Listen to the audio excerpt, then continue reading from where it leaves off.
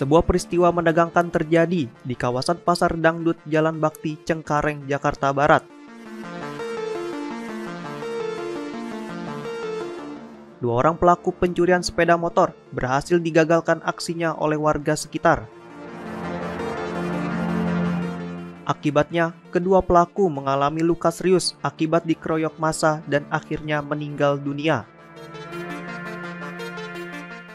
Peristiwa bermula saat warga mendengar teriakan maling. Seketika itu juga warga berbondong-bondong menuju lokasi kejadian.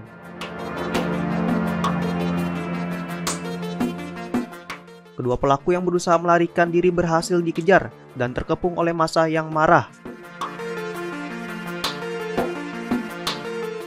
Mereka kemudian menjadi sasaran amukan massa yang meluapkan kemarahannya.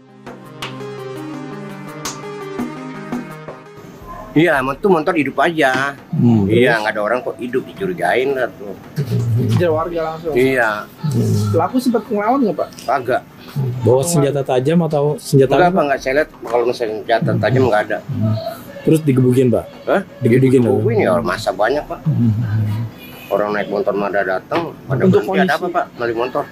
Kondisi maling gimana pak? Setelah ditinggal udah lemes atau gimana pak? Ya lama-lama ini namanya orang banyak begitu ya lemes lah. Banyak pengeluaran darah, Pak ya. Iya, mana ada di sana pak? Kalau di sini Terjadinya. rawan sih pak kejadian uh, runmore gitu pak? Kayaknya baru-baru ini aja pak, karena banyak hilang motor. Baru Iya. ketangkep kali ini. Iya. Jadi warga kesel ya. Berarti tadi malingnya ada berapa orang, Pak? Dua pak. Dua. Yang saya lihat dua, tahu dah itu. Ketahuan warga, Pak ya. Iya, betul. Kalau lokasi pencurian motornya itu di gang sempit atau gimana, Pak? Di gang begini lah pak, tuh tuh tuh tuh. Gang lega lah, mobil masuk. Hmm, terus pas nyurinya, Hmm? pas ngambil motornya, Pas ngambil motornya ya di situ di gang itu pak. Oh belum belum sempat dikeluarin tuh motor. Udah. Oh udah. oh udah, udah sempat nyala, Pak. Iya, Oh. motor hidup aja. Oh. Pas hidup katanya tuh ada tukang bakso, pura-pura ini terus pas dia mau naik langsung ikan begini sama tukang bakso itu. Langsung dirangkul lah ya. Hah?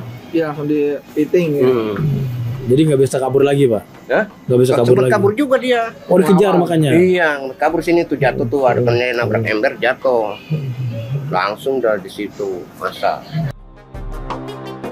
Meskipun sempat mendapatkan pertolongan medis di Rumah Sakit Umum Daerah Cengkareng, nyawa kedua pelaku tidak dapat tertolong. Untuk kepentingan penyelidikan, pihak kepolisian dari Polsek Cengkareng membawa jenazah kedua pelaku ke Rumah Sakit Polri Jakarta untuk dilakukan autopsi.